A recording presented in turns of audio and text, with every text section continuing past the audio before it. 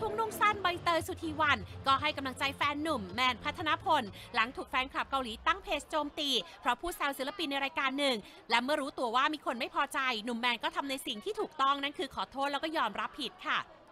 ปกติค่ะก็บอกไม่เป็นไรก็ขอโทษไป เพราะว่าถ้าเราผิดจริงอะไรอย่างเงี้ยถ้าเราแบบอุ้ยพูดผิดหรือว่าไป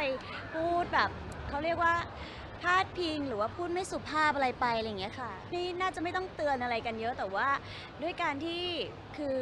พิ่งเริ่มงานด้วยทำงานใหม่ก็ก็คงมีการแบบเอ้ยพูดผิดไป หรือว่าบางทีเราก็นึกไม่ถึงว่าแบบเออมันจะเซนซิทีฟกับกับต่อภาพรวมมากๆอะไรอย่างเงี้ยค่ะ